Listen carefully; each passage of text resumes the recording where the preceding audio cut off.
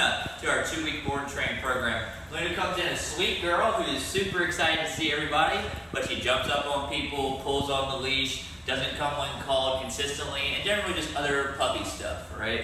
So we're in here for the two-week board and train program to give her some manners, to make her that lovely lady she always wanted to be, but couldn't be consistently. So now I'm going to demonstrate her current level of obedience, and then we'll go ahead and get started. Luna, come. Luna, come. Good. Sit. Good girl. Down. Down. Down. Luna, place.